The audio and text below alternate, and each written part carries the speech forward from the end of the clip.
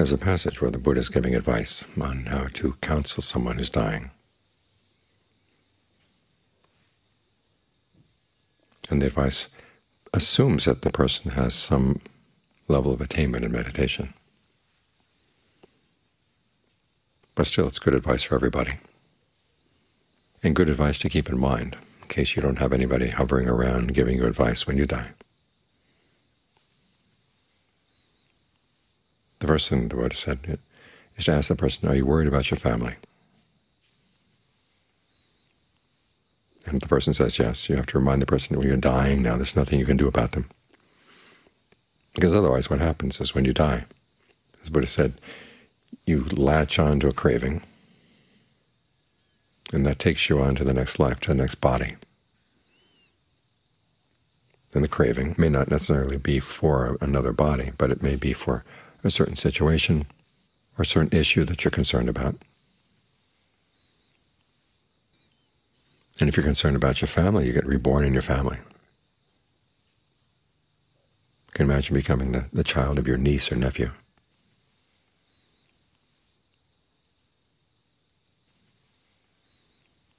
Or maybe nobody in the family is going to have any kids, and you become their dog. You're very protective, but still you're a dog. So you've got to cut off all thoughts of your family.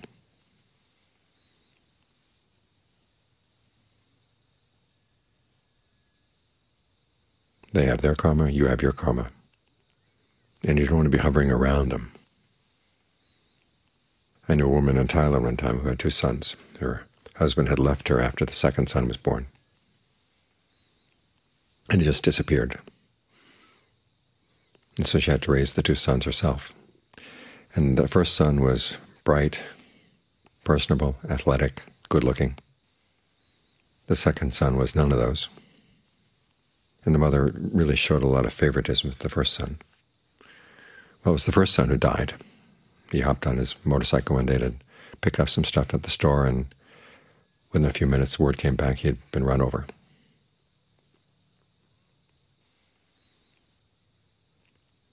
And after a week or so she came to see me and said she had a sense that he was still around the house, leaving little signs. Like if something good was going to happen that day, there'd be a little dollop of, dollop of clay left in her drawer. And if something bad was going to happen, a little rock. And she wanted him to stay there. There's a belief in Thailand that as long as the body is not cremated, the spirit will hang around. Once it's cremated, then the spirit has no locus and move on. So she wanted to have the body stored away until she died. I had to talk to her and say, look, you're keeping him around the house. It's a miserable life being a spirit hovering around a house, no matter how much you may love your family let him go. So she finally had the body cremated, and sure enough, things quieted down.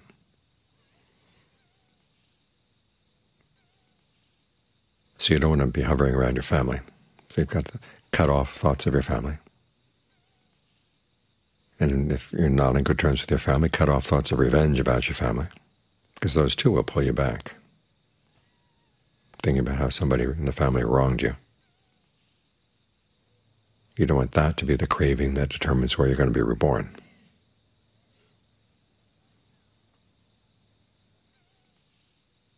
Then the next step is to ask the person, are you afraid of missing human sensual pleasures?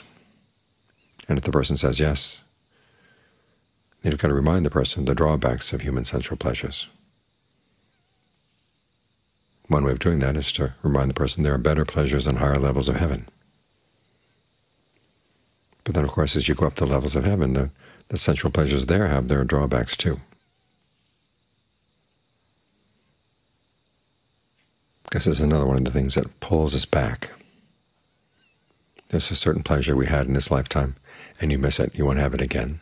And the prospect suddenly appears to you as you're dying that you could have that pleasure again, or maybe something better, something nicer. And you go for it. You sign the contract without looking at the fine print. And part of the fine print, of course, is that you're going to get a body.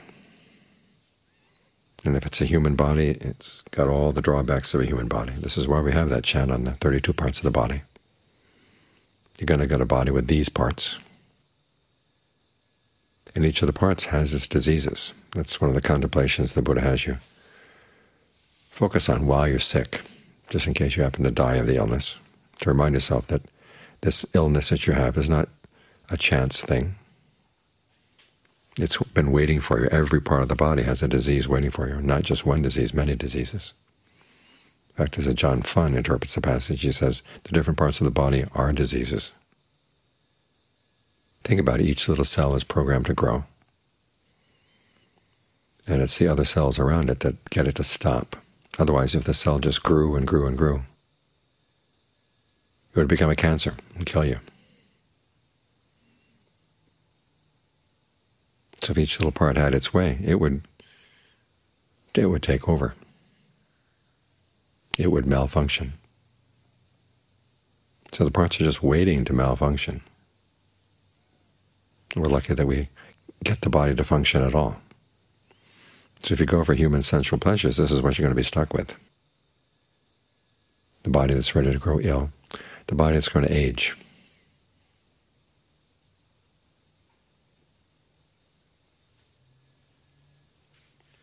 There's a passage in the canon says, aging drops on you, as if out of nowhere. And the body used to know is not there anymore. It's been replaced by something else. And it doesn't ask permission. Again, when you latch onto the body, it's not the case that the body has agreed that it's going to do what you want.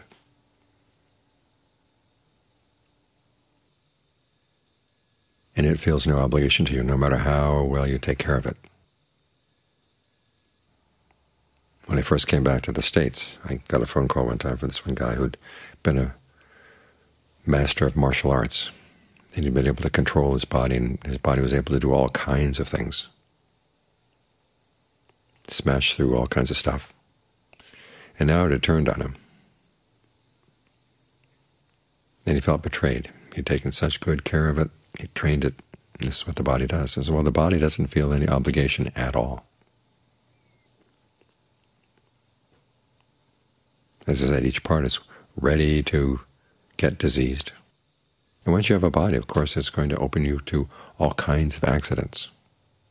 You can't guarantee that you're going to have a healthy body all the time, or even a sound body, or a complete one.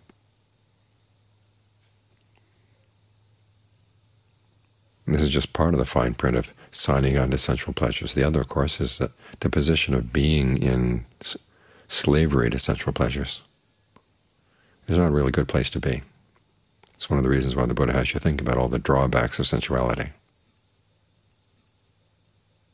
one of those images that's pretty vivid around here at the monastery is when a raptor gets a little piece of meat, it has to fly away, make sure other raptors don't get it. if they attack it, sometimes it has to let go, otherwise they'll kill it. So that, the Buddha said, that's sensuality.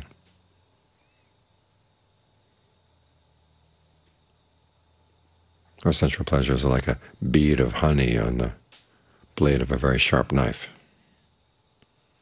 To enjoy that little bit of honey, you have to be extremely careful. There's a lot of pleasures in the world you you can enjoy only in a very dangerous situation.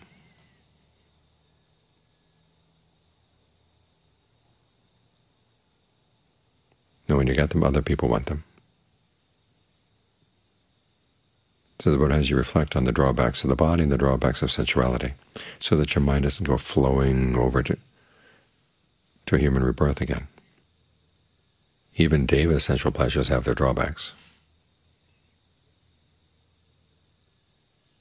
It is possible on some levels of the Deva realms to practice the Dharma, but it's so easy to get carried away.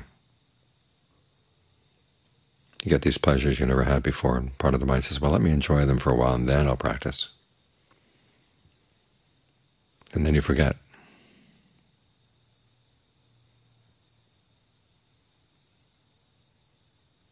So it's good to reflect on these drawbacks,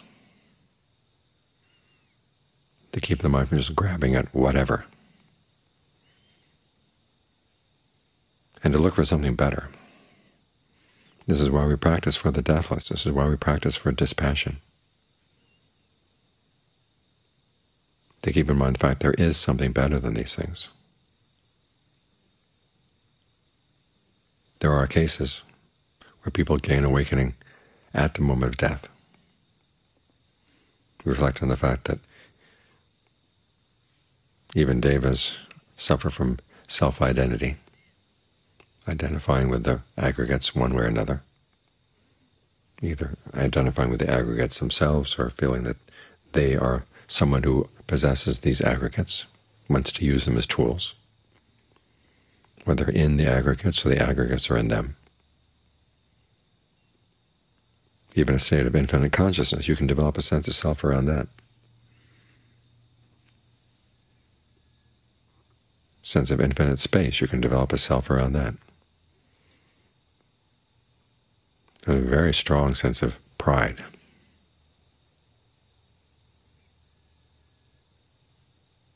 One of my favorite stories about monks meditating and gaining visions was of one monk who was meditating out in the forest one time. And as he was sitting there meditating, these devas would come past and they'd stop and they'd bow down to him. He thought to himself, gee, this is pretty cool being a meditating monk. Even devas bow down to you. All of a sudden this foot appeared out of the sky and kicked him in the head and said, space devas can bow down if they want, and if not, if they don't.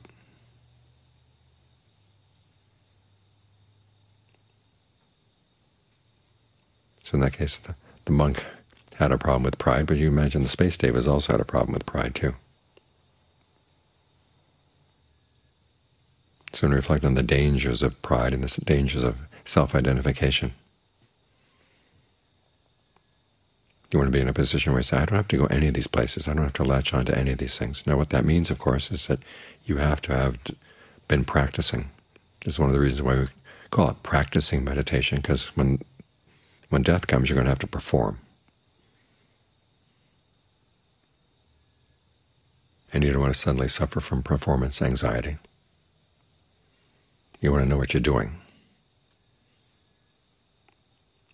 You have to be mindful and you have to be alert and you have to be ardent all the way through to the end, even as the body's falling apart.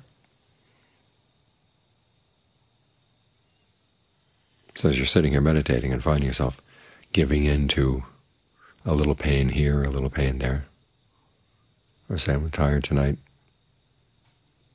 remind yourself, when the day comes to perform, it's going to be a lot more difficult than this.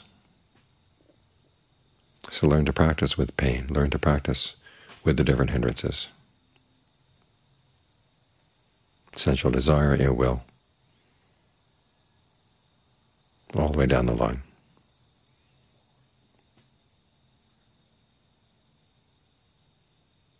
So that when the time comes to perform,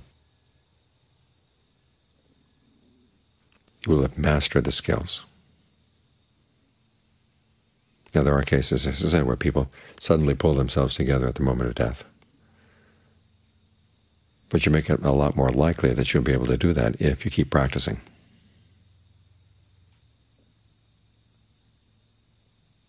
Practice in spite of pain, or you might say practice because of pain.